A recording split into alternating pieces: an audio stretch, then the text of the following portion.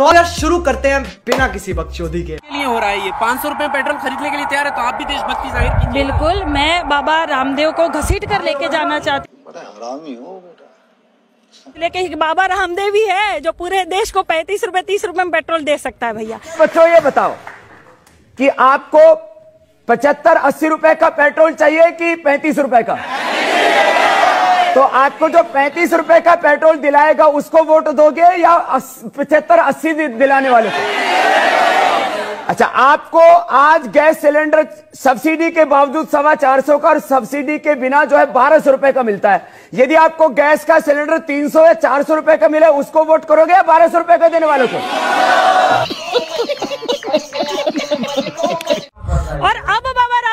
ये सवाल पूछा जाए तो कहेगा देश हित के लिए तो ज़रूरी है भैया थोड़ा तो योगदान देना पड़ता है। ठीक है मध्यम वर्ग के लोगों को और भी कुछ सरकार मुझे आ, आ, आ, मैं भरोसा है कि कुछ ज़रूर देगी। थोड़ा सा तेल डीजल के दाम बढ़ने से थोड़ा सा लोगों के जेब से पैसा भी निकलेगा बाहर लेकिन ये देश भी तो अपना ही है। ये तो हमारे भीतर प्राइड होना चाहिए कि अपने देश के लिए हम कुछ दे रहे नहीं। और फिर खुद ही डेढ़ी आँख वाला काना खुद ही कहता है कि साइकिल चलाइए ये शरीर के लिए स्वस्थ। तक हो सके जैसे मैं सुबह पाँच किलोमीटर दौड़ लगाता हूँ साइकिलिंग करता हूँ।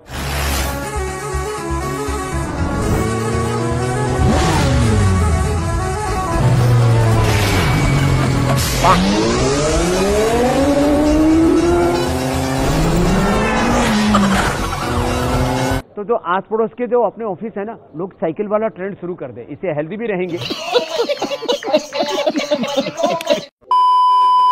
अनुपम खेर अक्षय कुमार अमिताभ बच्चन ये अजय देवगन जो कहेगा कि केसर क्या किसकी शुरुआत है। विमल पान मसाला दाने दाने में केसर का दम। गुटका की एड करता रहता है। हाँ दाने दाने में केसर का दम। ये कभी हमारे जितने भी सेलिब्रिटी है किसानों की बात क्यों नहीं उठाते? हैं गजब बेइज्जती है।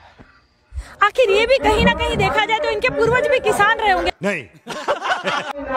तो ये पिज्जा खाने वाले या थोड़ा सा होशियार में स्टाइल मार लेते हैं बड़े बड़े सेलिब्रिटी।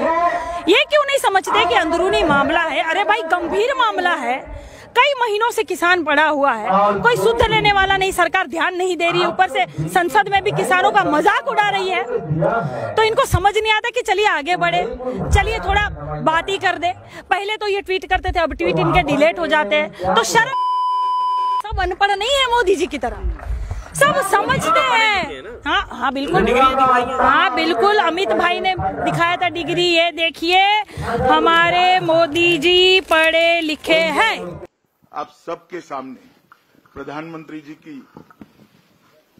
बीए की बीए की और एमए की दोनों डिग्रियाँ सार्वजनिक करना चाहता कुछ भी कुछ भी। ये है मोदी जी की डिग्री। अरे बाप रे ये तो धोती खोल रहा है। कितना पढ़े हैं आप? वैसे तो मैंने सत्रह साल की आयु में घर छोड़ दिया। स्कूली शिक्षा के बाद मैं निकल गया। उस तब से लेकर के आज तक मैं भटक रहा हूँ नई चीज़ें पाने के लिए। सिर्फ़ स्कूलिंग स्कूल तक पढ़े मतलब प्राइमरी हाँ, स्कूल तक? हाई स्कूल तक। हाई स्कूल तक। छोड़ के चला गया था at the age of seventeen मेरी कोई पढ़ाई वढ़ाई नहीं हुई दोस्तों। आपको शायद आश्चर्य होगा जान करके। तो मैं स्कूली शिक्षा गाँव में किया और जैसे मैडम बता रही थी ना कि अपनी शिक्षा के कारण आदमी आगे नहीं बढ़ता है तो मेरी शिक्षा ही नहीं हुई बार बार झूठ बोलो। जो भी बोल सकते हैं, सब झूठ बोलो। जहाँ भी बोल सकते हैं, झूठ बोलो। जितनी बार बोल सकते हैं, झूठ बोलो। किसी भी विषय पर बोलो तो सिर्फ़ और सिर्फ़ झूठ बोलो। एक ही काम, झूठ बोलो झूठ बोलो झूठ बोलो। बार बार बोलो, बार बार बोलो, बार बार बोलो। हर जगह पे बोलो और ज़ोर ज़ोर से बोलो। तो ये कहने से नहीं होता सब अनपढ़ गवार नहीं है यहाँ सब अनाज खा रहे भैया सबको समझ में आ रहा है। क्या सच है क्या झूठ है? वाह क्या सीन है? वाह क्या सीन है? मज़ा आया। और मैं ये जो मज़ा है हिंदुस्तान के हर व्यक्ति को देना चाहता हूँ। बिल्कुल, मैं आंदोलन जीवी हूँ, लेकिन मैं चंदा जीवी नहीं हूँ। मैं आंदोलन जीवी हूँ, हाँ, मैं जुमला जीवी नहीं हूँ, मैं आंदोलन जीवी हूँ, लेकिन मैं जुठलेंदर जीवी नहीं हूँ, भैया। चुनावी भाषण में प्रधानमंत्री ने बात कही, उसको वो बार बार दोहरा रहे हैं कि पंद्रह लाख रुपए अकाउंट में क्यों नहीं आ रहे? देखिए, ये जुमला है। किसी के अकाउंट में पंद्रह लाख रुपया कभी नहीं जाता, वो उनको भी मालूम है और आपको भी मालूम है देश की जनता को भी मालूम है। ये भाषण देने का एक तरीका है एक जुमला।